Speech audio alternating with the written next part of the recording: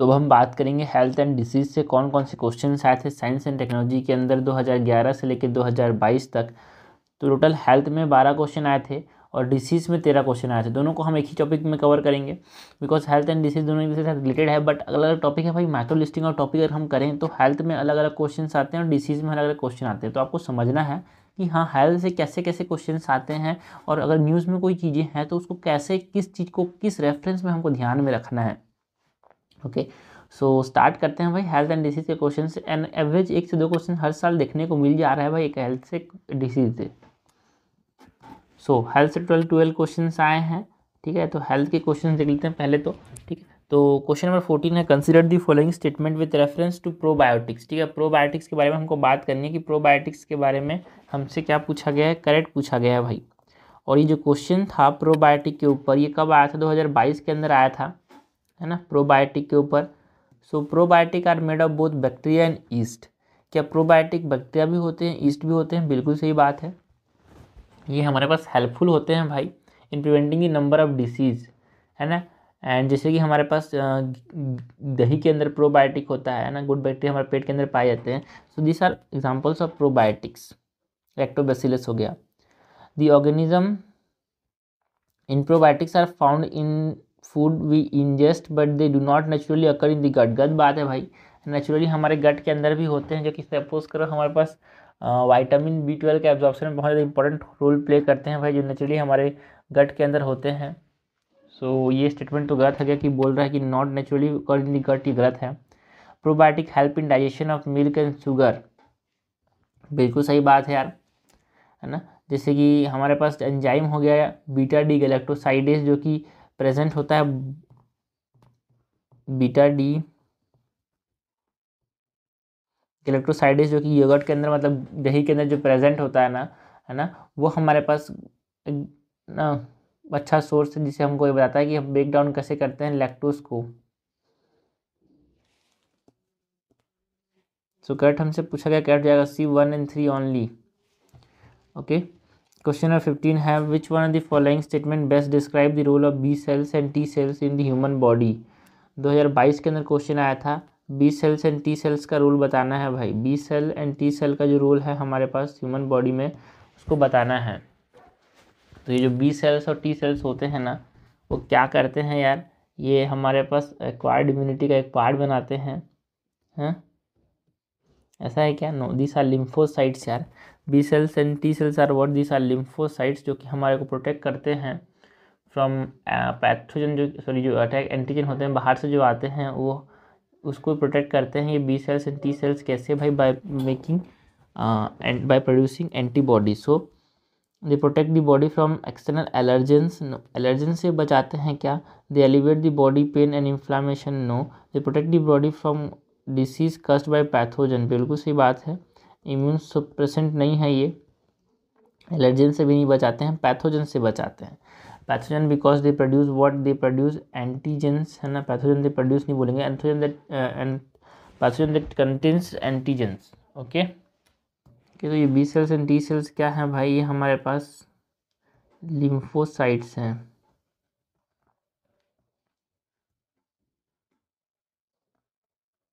Okay question number sixteen है in the context of hereditary disease consider the following statement 2021 में question आया था।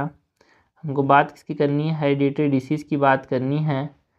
Passing on mitochondrial disease from parent to children देखो इसी प्रकार के क्वेश्चन और भी आया था कि हमारे पास जो प्रो न्यूक्लियर ट्रांसफ़र है है ना? प्रो न्यूक्लियर ट्रांसफ़र के ऊपर भी क्वेश्चन आया जो मैंने कवर किया है मेसिलेनियस टॉपिक में, है ना?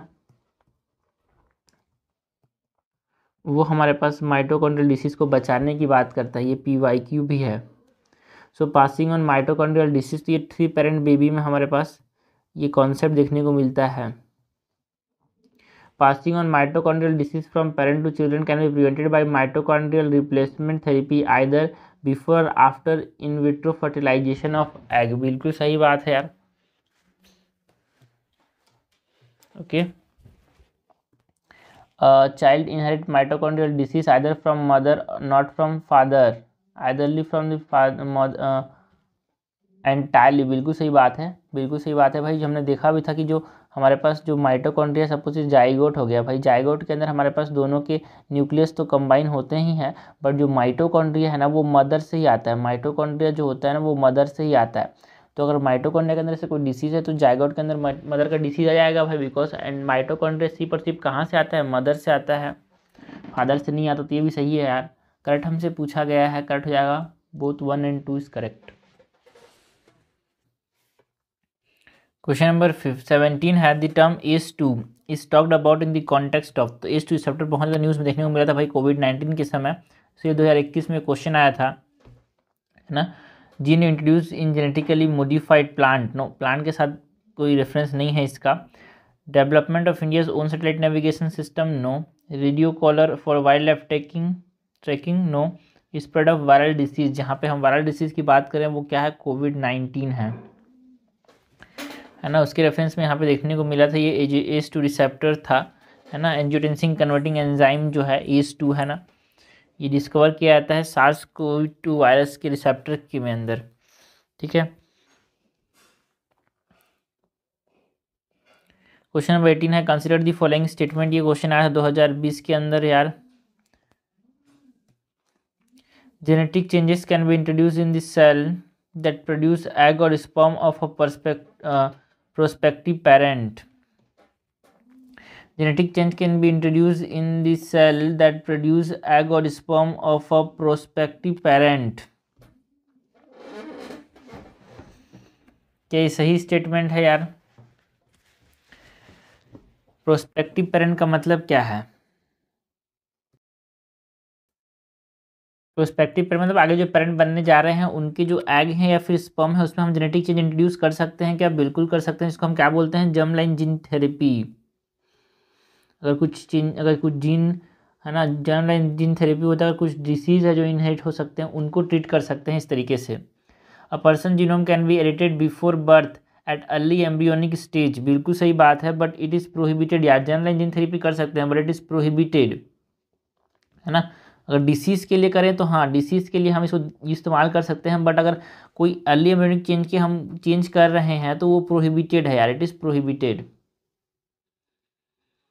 human induce pluripotent stem cell can be injected into the embryo of a pig बिल्कुल सही बात है। हमारा जो human induce pluripotent stem cell है, उसको एम्ब्रियो के अंदर डाल सकते हैं पिग के। करेक्ट हमसे पूछा गया करेक्ट हो जाएगा D one two three question number nineteen है with reference to pre packed items in India हमको बात किसकी करनी है? हमको बात करनी है प्री पैक्ड आइटम्स की। It is mandatory to the manufacturer to put which the following information on the label ठीक है? कौन कौन सा इन्फॉर्मेशन लेबल में पुट करना मैंडेटरी है? ये हमसे पूछा गया है as per the food safety national packing and labelling regulation 2011 में जो आए थे, ठीक है? तो ये बहुत इंपॉर्टेंट है यार।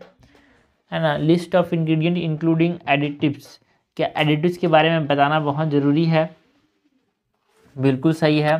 न्यूट्रिशनल इन्फॉर्मेशन ये भी ज़रूरी है।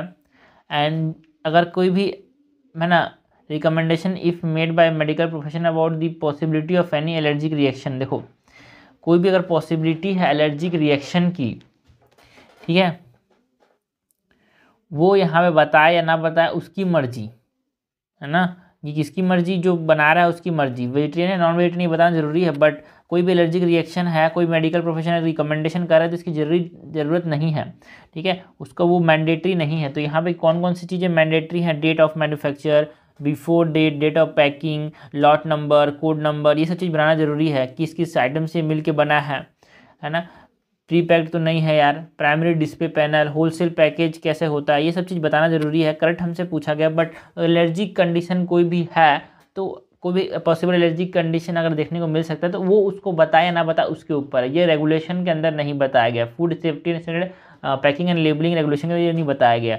तो करेक्ट हमसे पूछा गया करेक्ट हो जाएगा C one two and four question number twenty है कंसिडर दी फॉलोइंग मिनरल्स दो हज़ार तेरह के अंदर एक क्वेश्चन आया था। Which of the mineral given above is are required by human body for the contraction of muscle? तो contraction of muscle के लिए कैल्शियम की ज़रूरत पड़ती ही पड़ती है यार। है ना? आयरन की ज़रूरत भी पड़ती है। आयरन क्या करता है? एनर्जी प्रोडक्शन को सपोर्ट करता है बिकॉज़ हमारे पास जो माइटोकॉन्ड्रिया एनर्जी तब बनाता है जब आयरन होगा। कैल्शियम तो मसल कॉन्ट्रैक्शन में है it is an activating enzyme ज़्यादा डिप में नहीं जाएँगे जो एक्टिव साइट होता है मायोसिन के ऊपर वो सब चीज़ को वो करता है, ठीक है? डिकपलिंग करता है। तो हमारे पास आयरन क्या करता है यार? एनर्जी प्रोडक्शन को सपोर्ट करता है। माइटोकॉन्ड्रिया के अंदर। एंड सोडियम क्या करता है यार? सोडियम क्या करता है? सोडियम जो है, वो बैलेंस बना के रखता है मेम्ब्रेन पोटेंशियल को मेंटेन रखता है। तभी तो यहाँ पे हमारे पास क्या होगा कंट्रक्शन होगा। सो यहाँ पे हमारे पास कौन कौन से मिनरल्स चाहिए भाई? मसल कंट्रैक्शन के लिए तीनों तीनों ज़रूरी हैं यार। क्वेश्चन नंबर ट्वेंटी वन है consider the following kind of organism some species of which of the above kind of organism are employed biopesticide, ठीक है? दो हज़ार बारह के अंदर क्वेश्चन आया था कि इनमें से कौन से स्पीसीज के कुछ ऑर्गेनिजम्स हैं जो कि बायोपेस्टिसाइड मतलब नेचुरली अकरिंग पेस्टिसाइड मतलब कीटनाशक बैक्टीरिया को मारने वाली चीज़ें के फॉर्म में जानी जाती है। तो क्या बैक्टीरिया भी कुछ बायोपेस्टिसाइड के एग्जाम्पल्स होते हैं? जैसे कि हमारे पास हैं भाई, जैसे बेसिलन जैसे बैक्टीरिया कुछ बैक्टीरिया ऐसे होते हैं जो कि दूसरे बैक्टीरिया को मार देते हैं। ओके कुछ फंजाई भी हैं ऐसे। ओके एंड फ्लावरिंग प्लांट्स के अंदर भी हमारे पास कुछ टॉक्सिक सब्सटेंस निकलते हैं जो कि क्या करते हैं? बैक्टीरिया को मार देते हैं। So they can employed as biopesticide ये तीनों के तीनों को बायोपेस्टिसाइड यहाँ पे के फॉर्म में इस्तेमाल किया जा सकता है। क्वेश्चन नंबर ट्वेंटी टू है what is the role of ultraviolet radiation in water purification system दो हज़ार बारह के अंदर क्वेश्चन आया था। यूवी अल्ट्रा वायलेट रेडिएशन का जो वाटर प्योरीफिकेशन सिस्टम होता है ना, उसमें क्या रोल है? इट इनएक्टिवेट और kill the harmful microorganism in water बिल्कुल सही बात है यार। It remove all the undesirable odour from the water क्या यूवी जो है वो ऑर्डर को रिमूव करता है? नो ऑर्डर जो है, सुगंध है, उसको रिमूव नहीं कर पाता है यार। ये डिसइनफेक्शन करता है। ये ऑर्गेनिजम्स को इनएक्टिव करता है, फिर मारता है। अरोमा के साथ एंड टेस्ट के साथ कोई लेना देना नहीं है इसका। टेस्ट वैसे का वैसे रहेगा। It the sedimentation of solid particles remove turbidity and improve the clarity of water no जो यूवी प्योरीफिकेशन है to be effective water turbidity जैसे कि क्वालिटी कोलाडम मटेरियल उसको पहले से ट्रीट करना चाहिए। और वो मस्ट भी लो ठीक है ना? This is also incorrect correct हमसे पूछा गया है, रिवर्स ऑस्मोसिस से ठीक हो सकता है बट यहाँ पे यूवी से सिर्फ़ बैक्टीरिया की बात की जाती है। यूवी से सिर्फ़ बैक्टीरिया मरते हैं यार, ठीक है?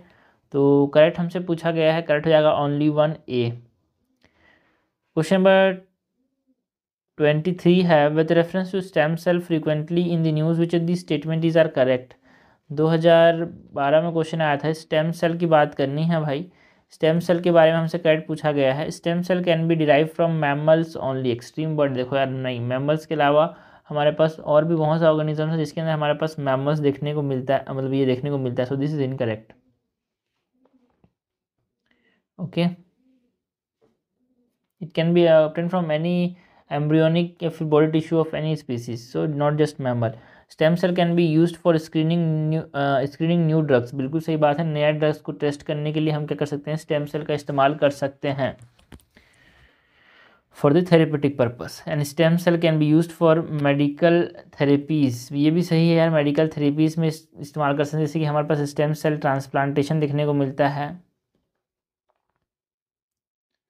किसी का कैंसर हो गया तो करेक्ट हमसे पूछा गया करेक्ट हो जाएगा B two and three only question twenty four है regular intake of fresh fruits and vegetable is recommended in diet since they are good source of antioxidant ठीक है ना? जो फ्रेश फ्रूट्स होते वेजिटेबल्स होते हैं, वो क्या होते हैं भाई? ना तो ग्यारह के अंदर क्वेश्चन पूछा गया जो फ्रेश फ्रूट्स एंड वेजिटेबल्स जो होते हैं they are good source of what antioxidants how the antioxidant help a person to maintain health and promote longevity कैसे एंटीऑक्सीडेंट हेल्प करते हैं, ये हमसे पूछा गया है। They activate the enzymes for vitamin synthesis in the body and help prevent vitamin deficiency no main जो है एंटीऑक्सीडेंट्स नाम से समझ एंटीऑक्सीडेंट ठीक है? तो ये न्यूट्रलाइज करते हैं जो फ्री रेडिकल्स बनते हैं हमारे बॉडी के अंदर, है ना? मेटाबॉलिज्म के थ्रू उसको न्यूट्रलाइज करते हैं बिकॉज़ ये फ्री रेडिकल्स अगर रहे तो ये हमारे जाके बॉडी में रिएक्ट करते हैं और रिएक्ट करने से क्या करते हैं? एजिंग करते हैं यार। So it promote longevity and maintain health so जो मेन काम है एंटीऑक्सीडेंट का it neutralize the free radicals ठीक है? तो ये हमारे पास हेल्थ से क्वेश्चन हो गए। तो अलग अलग करते हैं यार हेल्थ और डिसीज़ को एक ही कर देंगे, दिक्कत आएगा तो हेल्थ अलग डिसीज़ के अलग, ऐसे करते हैं।